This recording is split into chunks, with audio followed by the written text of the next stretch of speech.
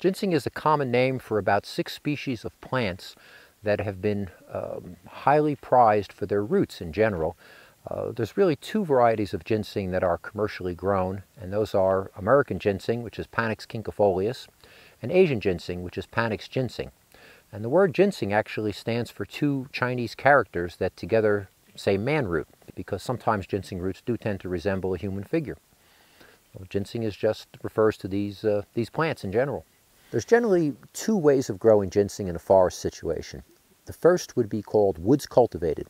Woods cultivated ginseng is defined by the fact that some sort of mechanical tillage is utilized to prepare the planting site. But essentially, woods cultivated ginseng is grown in beds, and those beds are prepared by some sort of mechanical cultivation.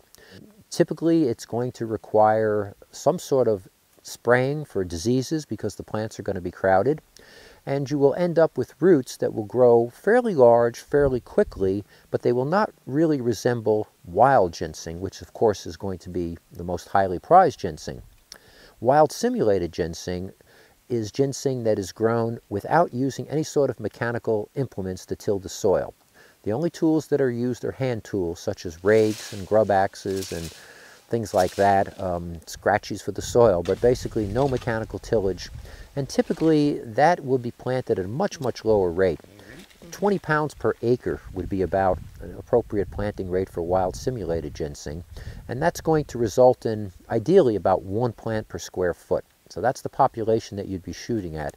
And quite often with wild simulated ginseng, you do not need to, uh, to spray. You generally don't need to use any pesticides. And of course, we certainly wouldn't want to use any fertilizers in wild simulated ginseng because we want to develop a wild looking root.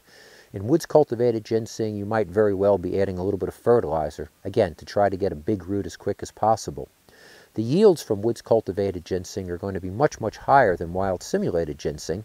You might get six, eight hundred pounds, or maybe even a thousand pounds or more of dried root from an acre of woods cultivated ginseng, whereas a really good yield of wild simulated ginseng for an acre would be two or three hundred pounds of root. The difference lies in the price that you'll receive for those roots. Right now, wild simulated ginseng is selling for six to eight hundred dollars, I should say, per dried pound in New York. Uh, depending on how old it is, that would be for typically eight to twelve year old root. Um, woods cultivated ginseng might bring about half that price. Wild ginseng would probably sell, again, from New York, wild ginseng would sell for somewhere in a neighborhood of 800 to $1,000 a pound. So Wild simulated will bring prices that are close to the prices that are being paid for wild, especially if it's grown on a good site and the roots are big and healthy and vigorous and uh, don't have any evidence of disease.